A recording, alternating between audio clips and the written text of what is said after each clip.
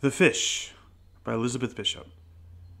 I caught a tremendous fish and held him beside the boat, half out of water, with my hook fast in a corner of his mouth. He didn't fight. He hadn't fought at all. He hung a grunting weight, battered and venerable and homely. Here and there his brown skin hung in strips like ancient wallpaper, and his pattern of darker brown was like wallpaper shapes like full blown roses, stained and lost through age.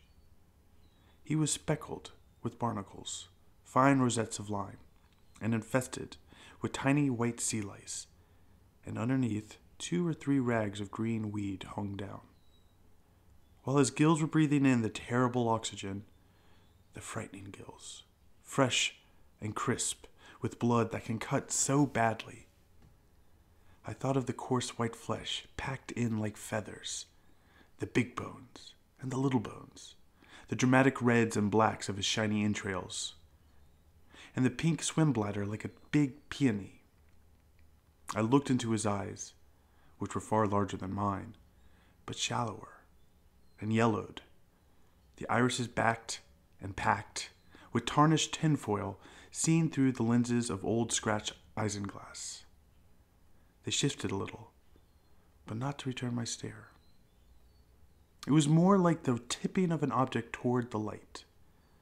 I admired his sullen face, the mechanism of his jaw, and then I saw that from his lower lip, if you could call it a lip, grim, wet, and weapon like, hung five old pieces of fishing line.